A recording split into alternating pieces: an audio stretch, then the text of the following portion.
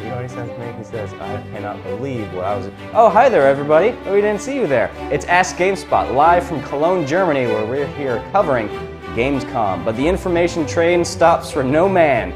We are going to tell you all about Grand Theft Auto Online.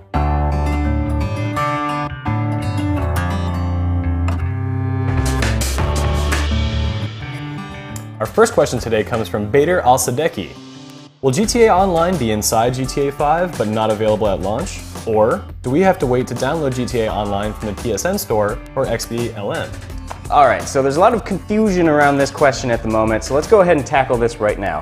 Grand Theft Auto Online is not a standalone retail product that you can buy just by itself. It's not something that you have to pay extra money for. You don't log on to PlayStation Network and buy it from there. Uh, essentially, if you own Grand Theft Auto 5, two weeks after that game comes out on October 1st, you get a free patch that enables Grand Theft Auto Online in the game. You're not spending any more money, you just jump into Grand Theft Auto Online by selecting your online avatar from the same character wheel that you use to jump between the three main protagonists in Grand Theft Auto 5. I love free patches. Free patches. All right, our second question comes from David Betancourt. Shaun, Yes. how deep is the character customization? The character customization in Grand Theft Auto Online, it's, it's pretty similar to the character customization system in GTA 5, the story mode, in so much as you can, you know, you can put tattoos on yourself, you can go to clothing stores, buy clothing, put on masks and whatnot. The difference here is that you can actually change the look of your character's face as well. So it's not predefined characters like in GTA 5. You can kind of morph your face around a little bit like this, a little bit like that. You can go for one of these if you want. go for one of these. It's up to you. It's the beauty of video games. All right, Philip Mores Vieira asks, what do we lose when we die? Is it like the single player campaign that you just pay a bill to the hospital? Uh, so one of the cool things about Grand Theft Auto Online is that there's two ways of holding onto money.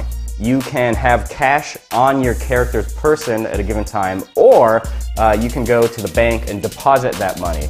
The money that's stored in your account, that's yours. You're fine when you die.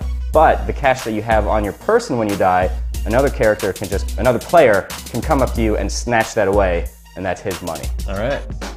Next, we've got Chris Calland asking, are Rockstar taking strong measures to stop hackers since this has ruined GTA 4 multiplayer? Um, so I'm not sure about hackers specifically, but I did talk to uh, Rockstar North uh, president Leslie Benzies, and he did address the issue of just bad sports in general. Um, whether it's people who are griefing you or people who are maybe a little bit more malicious than that.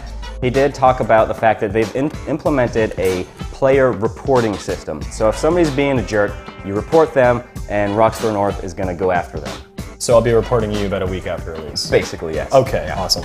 Next, we've got David Cook who wants to know I want to know something simple that's never been done.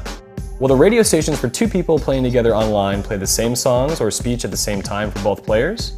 And can only the driver switch the station for everyone in the car? That is, I'm really glad that somebody asked that question because I asked something very similar when I made the studio visit, um, which was about the radio stations. Yes, if two people are in the same car, they're going to be hearing the same music, they're going to be hearing the same speech from the other characters. I don't know specifically if the passenger can change the radio station or if it's just the driver. I would imagine that you should be able to do that Yeah. because that would be kind of a weird limitation. like, sorry, you're in the passenger seat, you can't reach over slightly and change the station. Uh, but you guys will be able to hear the same music.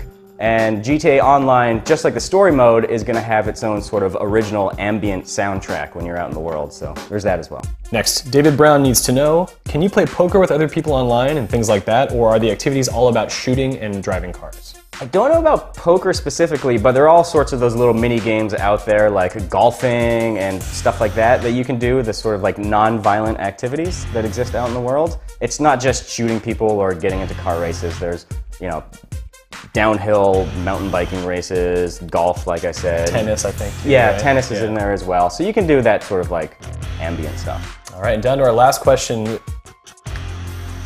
All right, this one comes from Naruto fan as usual. I read somewhere that this game has insider trading. I've been thinking about getting to insider trading myself. Do you guys have any hot tips for my portfolio? I've got money in coal, syrups. It specifies maple, sesame, high fructose corn, and halibut. Thanks, love the show. Thank you, Naruto fan. Uh, John? Uh, uh,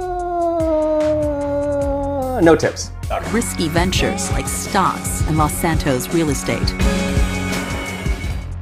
Well, folks, that's all the questions we have about GTA 5 Online today. Yeah, but if you want to submit your questions to future shows, make sure you follow GameSpot on Twitter and Facebook, where we put out frequent calls for upcoming episodes. So until then, see you later.